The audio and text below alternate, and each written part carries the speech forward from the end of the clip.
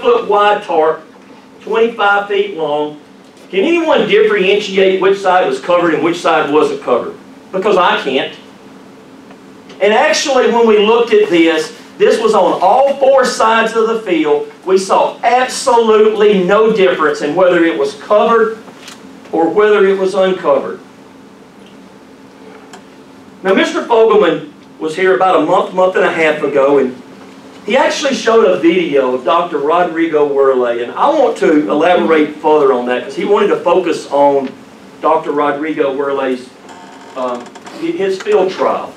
He did one also in Wisconsin. And all of what I'm going to share with you at this point was provided to me by Dr. Rodrigo Werle. Dr. Rodrigo Werle actually sprayed seven acres in an Xtend field. It's here in the orange, seven acres. His trial somewhat similar to mine. And he sprayed 20, there was 23 acres of non-Xtend that's around it here in green. So he had a total of 30 acres. I had 240 acres. So a little bit difference in terms of scale. He treated his on July the 11th at 11 a.m. in Wisconsin. 81 degrees Fahrenheit, he had a maximum temp of almost 86 degrees, 85.5 degrees.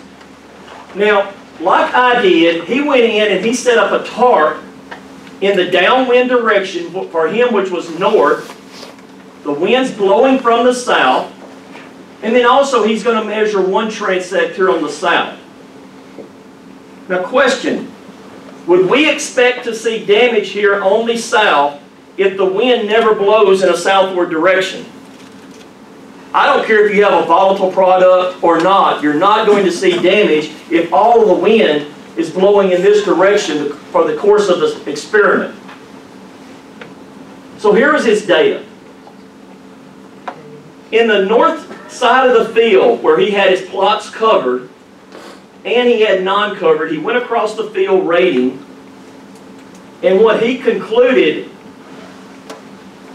volatility was a major component of the overall movement, and injury was not observed on the south side of the field because the wind was never southward. It was stated he didn't have damage except on one side of the field. The reason he only had one uh, damage on one side of the field was because the wind only blew in a southward direction. Did he have substantial volatility? Folks, he actually had more volatility again than he did physical drift. If you look at the contribution of volatility to the overall damage here, this is the majority of the damage is due to volatility. Now I want to read, this is what Dr. Werle sent me. I asked him to summarize his trial and send it to me in a direct quote, he said, we observed no injury on the upwind direction, that would be the south side, other than the non-Xtend row that was directly exposed to dicamba during the application. He says injury was observed in the downwind direction, or the north side of the field, in both the plastic covered and non-covered areas. Thus, particle and vapor drift caused injury in the downwind direction, the north side. He says at 14 days after treatment, one could not tell the difference between the plastic covered and the non-covered areas. He says the injury level actually statistically were identical. They were the same. Then he goes on and he mentions what he did at 28 days. But I want to take the end of it here. He says, it's important to mention that the wind blew primarily towards the same south to north direction for the applica from the application until day three after treatment. And oh, by the way, he says, a significant rainstorm happened on the night of day two after treatment. A day and a half after he sprayed, there was a rainfall event. Well, here's my question. What happens to the volatility of dicamba once we have a rainfall event? Let's answer that question. But before we do that, I'm going to conclude this. I think Dr. Rodrigo Werle's Wisconsin results match the Arkansas findings in that volatility is a major contributor to off-target movement of XtendiMax. Now here's some research that I conducted this year where we went and took air samplers and we measured concentration. This concentration here, I'm going to report it in nanograms per liter.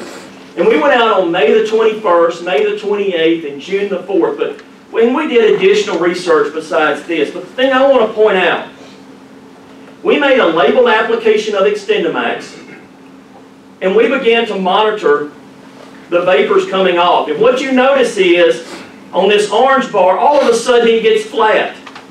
On this bar here, on May, what is that, May the 21st, it's all of a sudden flat. May 28th, it's all of a sudden flat. Why?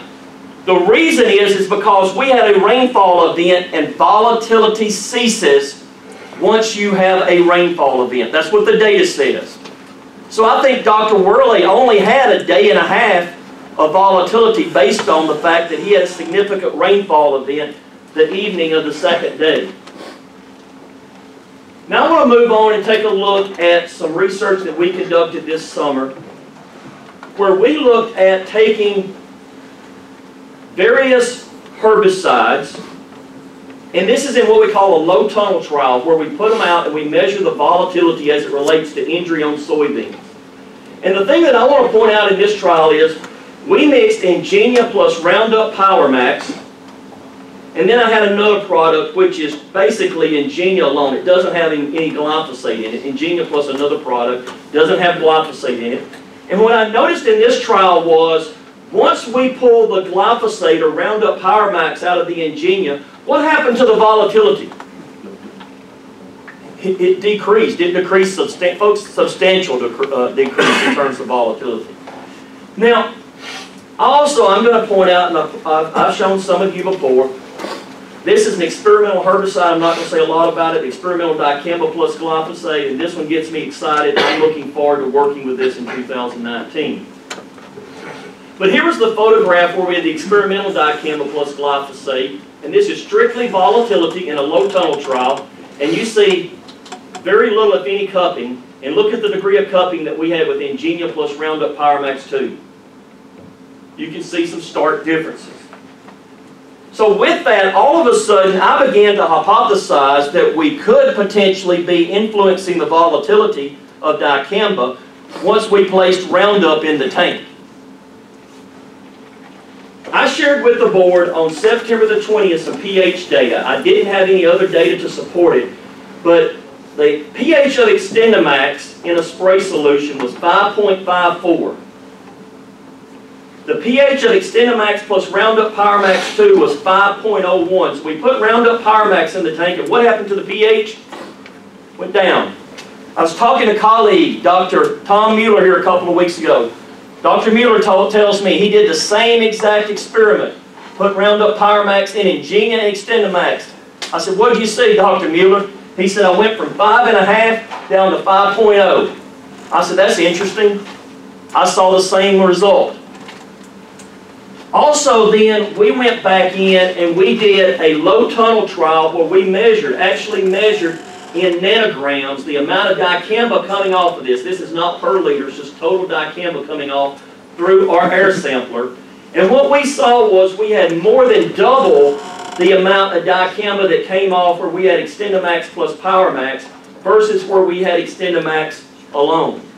The other thing I want to point out is we assessed injury on soybeans and look at, we had what, 12, 12 13% injury with XtendiMax, we put XtendiMax plus Roundup Power Max in there and we go to 30, 31, 32% injury, 30% injury.